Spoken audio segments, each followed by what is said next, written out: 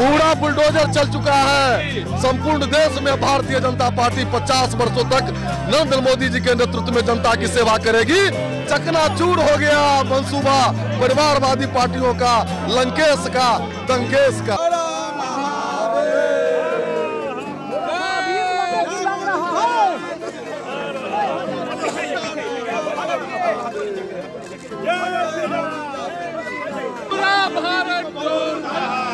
बम बम काशी बोल रहा है। पूरा भारत डोल रहा है। बम बम काशी बोल रहा है। पूरा भारत बोल रहा है। बम बम काशी बोल रहा है। पूरा भारत बोल रहा है।